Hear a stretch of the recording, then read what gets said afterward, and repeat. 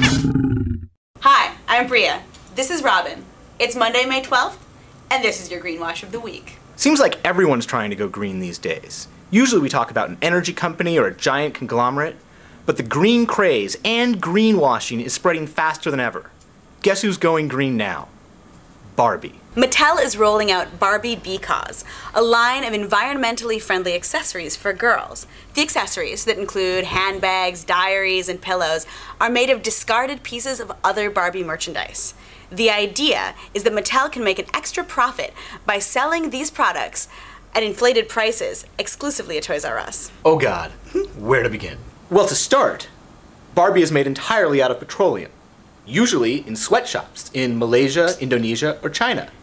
So that means that even a recycled Barbie tote bag is made out of oil from who knows where, by people with very few labor protections at best, and then shipped halfway around the world to your local Toys R Us. But that's just the tip of the iceberg. Because the story that Robin just told us is true for any piece of molded plastic at Toys R Us.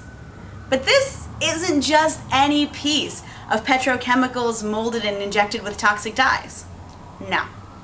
This is Barbie the icon of consumerism, superficiality, globalization, and of course, the oppression of women. Barbie is an icon of one of the main driving forces behind global warming, resource depletion, and human suffering around the world.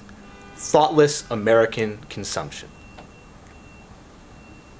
Thoughtless American consumption paired with manufactured desire and a perpetual sense of self-loathing, all for the sake of selling an endless supply of products. The whole idea behind Barbie is to sell girls an image of feminine perfection that's unattainable, damaging, and hardly desirable.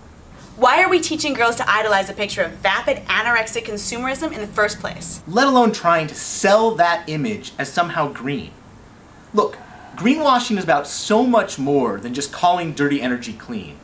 It's about marketing a false sense that we can just keep on consuming endlessly without worrying about the consequences of our actions. Eco Barbie is just about as bad as it gets. Because going green can't just be about buying more stuff, especially from a company that is so rooted in overconsumption and oppression. And that's why B-Cause, the Eco Barbie, is your greenwash of the week. Greenwash of the week!